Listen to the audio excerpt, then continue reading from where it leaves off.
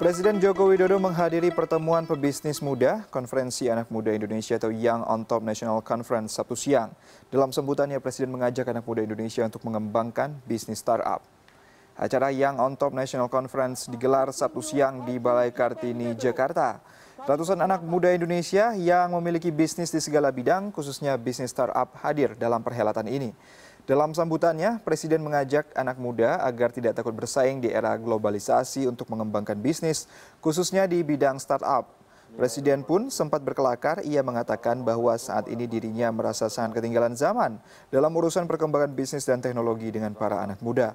Bahkan si anak bungsunya Kaisang pernah mengatakan bahwa sang ayah ini deso. Namun modal melek teknologi ini dianggap Joko Widodo sebagai model yang bagus agar para anak muda di Indonesia mampu bersaing dalam dunia bisnis global. Kita harus terbuka, harus mau membuka diri. Dan jangan takut berkompetisi, jangan takut bersaing.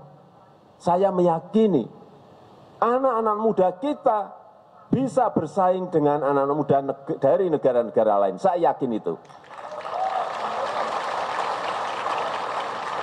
Tapi peluangnya harus dibuka. Ada keterbukaan.